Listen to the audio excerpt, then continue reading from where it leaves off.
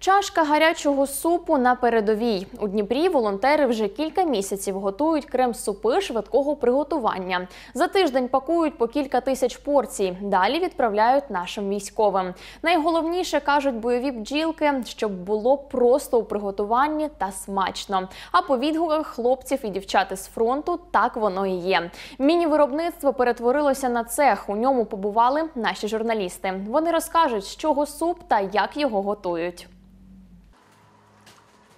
Всього дві хвилини і смачний обід готовий. Але щоб зробити ось цей пакетик, потрібно трішки поклопотати. Над бобовою чашкою, а так назвали швидкорозчинний суп-пюре волонтери, трудяться зо три десятки людей. За тиждень штампують 4-5 тисяч порцій. Це в нас бобова суміш, яку ми перемолюємо на цієї шайтан-машині на вже майже готовий продукт. Це в нас от квасоля більш світленька, більш жовтенький горох.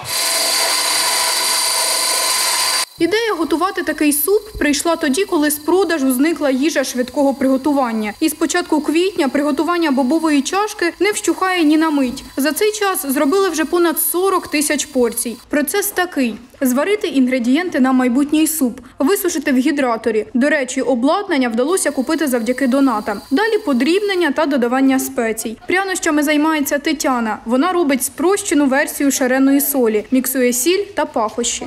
Це орегано, це е, сушений часник, це гострий перець.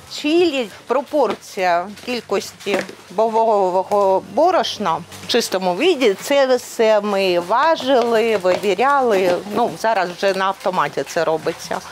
Та е, самої ароматної солі зі спеціями. Потім все рівномірно перемішати та на пакування. Зараз у дніпровських бджілок є 2,5 тонни гороху. І як вони кажуть, 2 тонни столовими ложками розфасують за кілька місяців, тому шукають ще й постачальників круп для співпраці. Поки є попит, ми будемо працювати. Якщо є бажаючі до нас доєднатися, залюбки всіх приймемо. Було б круто, якби це були люди з е, власними сушарками. Сировину ми надаємо. Хтось хоче вже женитися на наших волонтерах, хтось каже, ну взагалі круто, смачно, поживно. Е, І це дуже зручно. Долучитися можна як руками, так і грошима. Кошти потрібні постійно на закупівлю пакувальних матеріалів та інгредієнтів. Про витрати волонтери регулярно звітують у себе на сторінках у соцмережах. Лада Донець, Анастасія Вільхова, Віталій Правдюк, Open News, телеканал відкритий.